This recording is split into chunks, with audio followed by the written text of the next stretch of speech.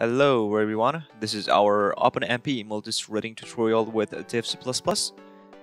We have already discussed the multi-threading and concurrent programming with C++ with uh, standard C++ multi-threading examples, but um, when it comes to for some real-world apps, they usually take much time for implementation and testing, and that is when OpenMP enters the game.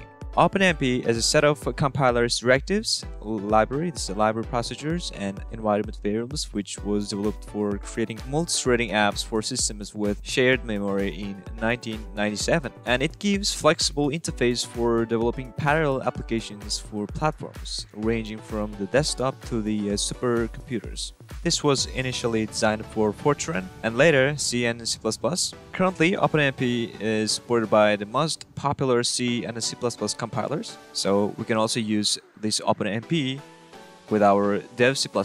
It is important to comprehend that OpenMP works just on compilation time. It converts preprocessor directives to native Fortran C or C++ code, which is then compiled to executable. And this allows the OpenMP to provide a kind of user-friendly interface without losing performance. OpenMP has many directives like barrier, construct, private, serial, region, shared, which you can learn from openmp.org. But don't worry, I will explain you everything we will do here.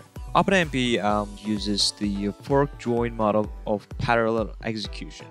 Although this fork join model can be useful for solving various problems, it's tailored for large array-based applications. OpenMP is intended to support programs that execute correctly both as parallel programs. So um, a program written with OpenMP C++ API begins execution as a single thread of execution called master thread. The master thread executes in a um, serial region until the first parallel construct is encountered. So in the OpenMP C++ API, the parallel directive constitutes a parallel construct. When a parallel construct is encountered, the master thread creates a team of threads, and the master becomes master of the team. Each thread in the team executes the statements in the dynamic extent of a parallel region, except for the work sharing constructs. So now let's code it. So go to File, New, Project, go to Console here and select OpenMP, select C++ here, and click OK. So as you can see, this is our quick start code. Um, here we are including OpenMP header file and we need to specify the parallel region. In OpenMP, we need to mention the region which we are going to make it as parallel using the keyword pragma OMP. This is why we are using it.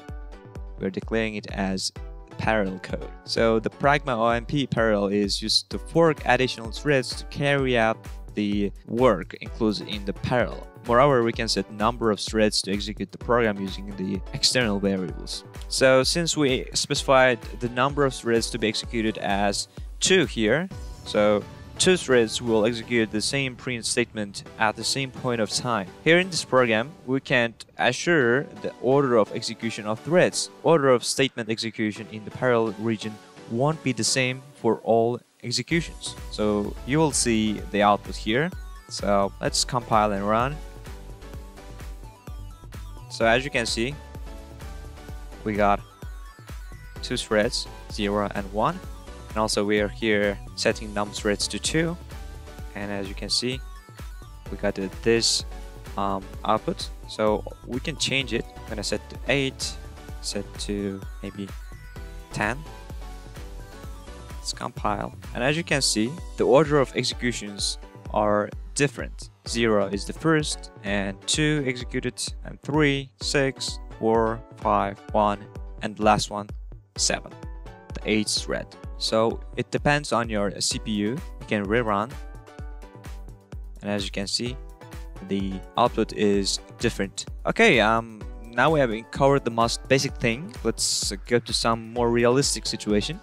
For example, we can take an array of integers and get square for each of them and store to another array. We're gonna do this with standard, um, the easy way.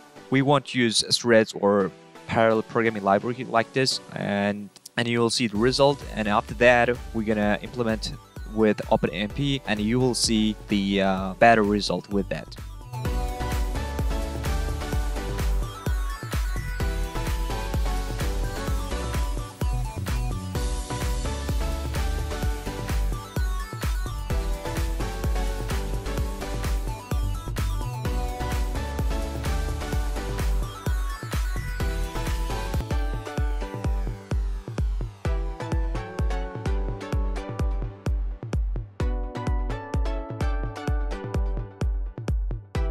Okay, we have declared array size, array value, and we have included algorithm and a time um, header files here to use this uh, clock functions and std fill n function here.